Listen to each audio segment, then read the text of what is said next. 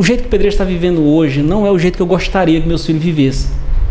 Eu estudei aqui no Zeca Branco, estudei no Molindina, no Correio de Araújo, sou licenciado em pedagogia, sou teólogo, bacharel em teólogo, sou coach, sou pós-graduado em marketing, mas nunca deixei para ir embora. Eu não quero ir embora de Pedreiro, eu quero viver aqui na minha cidade.